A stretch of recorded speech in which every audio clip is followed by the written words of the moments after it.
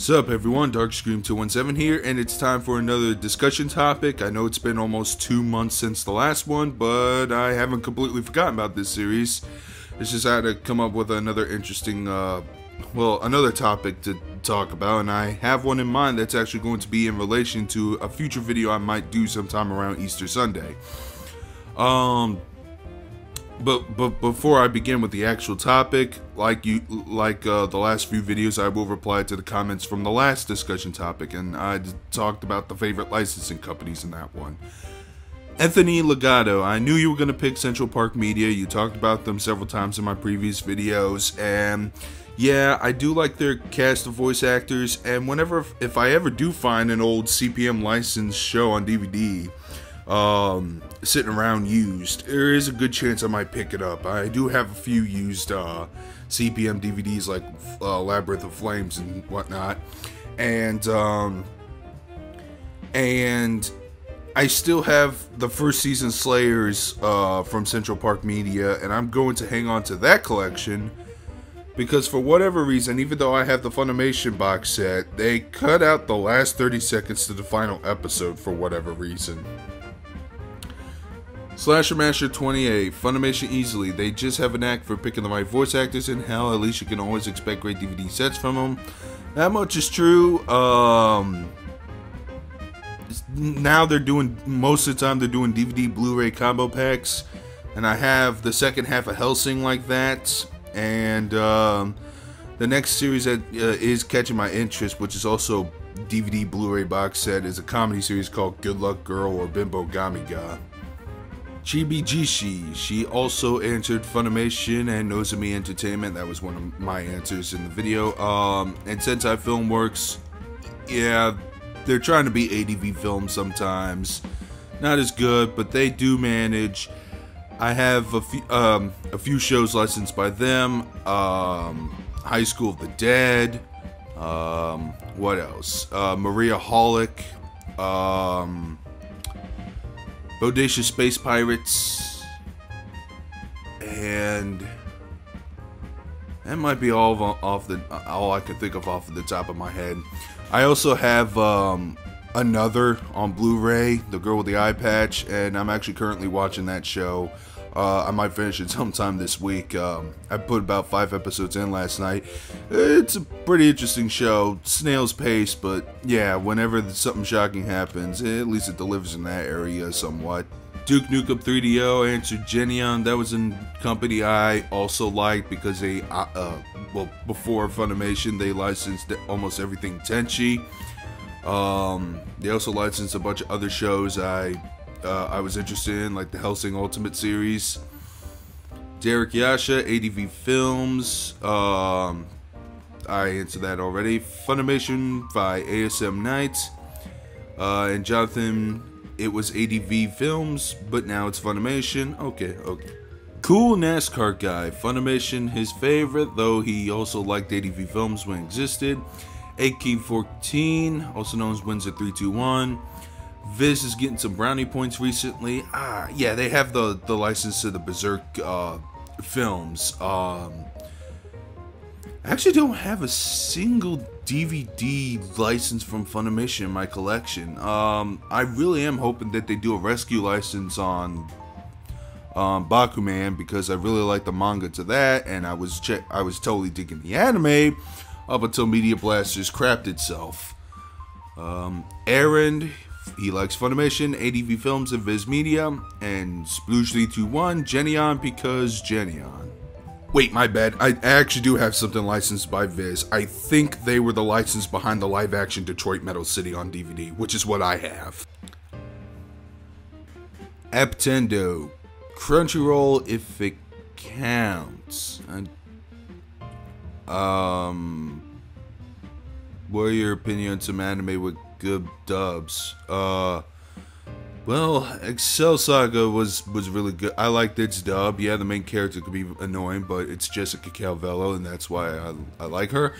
Um, what are the good dubs out there? Uh, apparently, I heard the dub to El Hazard was so good that the uh, that the original Japanese creator prefers to watch it like that over the um, over the original Japanese language. That's a good dub too, but um, uh, but I don't know if that's uh, completely true or not. There's just too many examples for me to list them all off the top of my head quickly. Uh, the only other thing I can think of is Panty and Stocking with Garter Belts.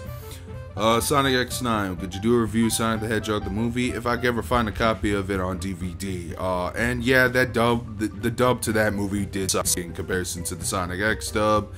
However, Sonic X is still a far shittier show, but that's just me. And Jim George Baker. Only companies I can think of is Funimation or Manga Entertainment. Um, Manga Entertainment. They they're a pretty decent licensing company. I mean, they've also got a handful of bad things, but they also had some good shows. Uh, they relicensed Castle Cagliostro with a dub with Solid Snake as the voice of Lupin. That was awesome. And they also have um, Street Fighter 2, the anime movie, and I love that movie to death. So yeah, that's a pretty good company. Alright, now to move to the topic at hand. Um, this topic, if you haven't checked the title out, it's the first anime you ever bought. Now I have two things to say about this before you actually start posting comments. One, it has to be an anime you bought with your money or whatever, or, or, it could be money that you got as a gift that you used to buy the anime. It can't be a gift from a friend or uh, or something your mother gave to you when you were a kid. It was something you saved up money and you spent it on yourself. And the second thing, it could be anything. It could be DVD, it could be VHS, it could be Blu-ray, it could be Laserdisc. If you have a Laserdisc story, I would like to hear that. And I think that's all I gotta say. Um, uh, uh, uh, when you uh, post your answer in the uh, comments or video response, um, let's see. I guess I could start with my answer. Um, was still on the air. I don't know if it was still on weekdays or not, or moved to Friday because there was that Miguzi block that aired after school. If anyone remembers that. Um, you know, where they showed Code Lyoko and Totally Spies on. Um, but I was really not getting into Toonami when it was airing, uh, and this was like long before the down the the huge decline it had that led to its uh, cancellation. But I did tape record some old Toonami episodes when I was just checking it out, and I had some episodes of Dragon Ball Z: The Android Saga, as well as um, as well as some episodes of Tenchi Muyo and some other things in between. But it was mostly Tenchi and Dragon Ball Z. Those were the top two shows I was getting into. I rewatched those episodes. I was really loving them, and I was like, man, I really miss Tenchi. So I was, uh, so that's when I thought, you know, maybe I should probably buy some anime on DVDs or something. And I recently bought a PlayStation 2 as well, so I would actually have something to play it on. And I went to a Suncoast, and they had the Tenchi Muyo Mihoshi Special Pretty Sammy OVA duology that you could see on the left side. It was about 30 bucks, um, uh, and uh, that was a lot shit, that was a lot of money back then, and it was like so few content too. There was only like four OVAs on that DVD. And I decided to pick it up because, hey, I was a fan of Tenchi. I want to try out something Tenchi. I don't think this aired on Toonami before. I want to check it out. I bought the money on Easter weekend. I, I bought the DVD on Easter weekend. I go, I check it out. Back then, I liked it. Nowadays, it's uh, well, it's still funny at times, but but man, uh, it, just uh, did not age that well for me. Show, uh, and then later, but I still like purchasing the DVD to the point where I, I wanted to do more of it. So afterwards, I actually bought the Tenchi, the first Tenchi movie, which I know didn't air on Toonami, but I was told it aired on the Sci-Fi Network uh, a couple times, or maybe one time. And I also picked up Volume One of Tenchi Muyo, the OVA series and alongside that, I wanted to check out an anime I've, you know, I've heard a little bit about, but I never seen on TV anywhere, and that was Excel Saga Volume One. Uh, you could see on the right side. And since then, it kind of it, it snowballed to the anime collecting nut I've became today. But if anyone else is interested about the rest of the story, uh, like I said, I might be talking about this in a future story like vlog because uh, that was almost 10 years ago. It's been 10 years I've been collecting anime, and I have stocked up a pretty hefty collection.